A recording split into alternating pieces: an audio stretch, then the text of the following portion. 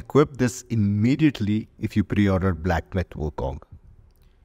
You will get a gift called Trailblazer Scarlet Gourd if you had pre-ordered Black Myth Wukong.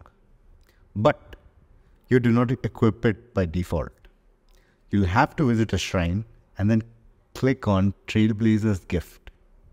And you should see this. Now click on collect. But wait, you're not done yet. You'll have to head over to the equipment section in the menu and equip it.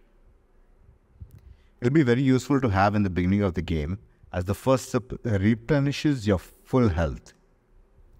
Hope this helps and happy gaming.